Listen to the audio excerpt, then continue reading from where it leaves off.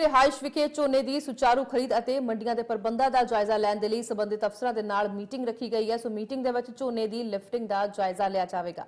ਸੋ CM ਮਾਨ ਕਰਨਗੇ meeting. ਝੋਨੇ ਦੀ ਸੁਚਾਰੂ ਖਰੀਦ ਨੂੰ ਲੈ ਕੇ ਇਹ ਮੀਟਿੰਗ ਬੁਲਾਈ ਗਈ ਹੈ। ਬੇहद ਅਹਿਮ ਮੀਟਿੰਗ, ਜਿੱਥੇ ਕਿ ਮੰਡੀਆਂ ਦੇ ਖਰੀਦ ਪ੍ਰਬੰਧਾਂ ਦਾ ਜਾਇਜ਼ਾ ਲੈਣ ਦੇ ਲਈ ਅਫਸਰਾਂ ਦੇ ਨਾਲ ਇਹ ਮੀਟਿੰਗ ਕੀਤੀ ਗਈ ਹੈ। ਉਹਨਾਂ ਦਾ ਵਿਚਾਰ ਵਟਾਂਦਰਾ ਕੀਤਾ ਜਾਵੇਗਾ। ਮੀਟਿੰਗ ਦੇ ਵਿੱਚ ਝੋਨੇ ਦੀ ਲਿਫਟਿੰਗ ਦਾ ਵੀ ਜਾਇਜ਼ਾ ਲਿਆ ਜਾਵੇਗਾ।